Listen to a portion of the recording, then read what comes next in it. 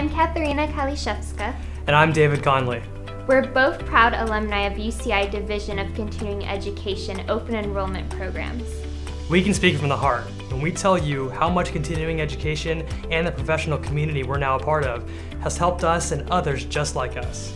Because of this, we're lending our voices to UCI Giving Day. Last year, UCI had our first ever Giving Day and raised 1.4 million within 24 hours. Since the very start of UC Irvine's history, continuing education alumni have been an important part of the UCI family. Our professional programs have a quality reputation around the world, and our graduates are highly sought after in a number of industries.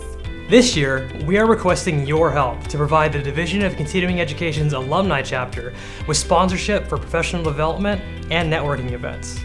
This allows those who have benefited from an open enrollment education to network and build careers together, making a positive impact on society here in Orange County and beyond.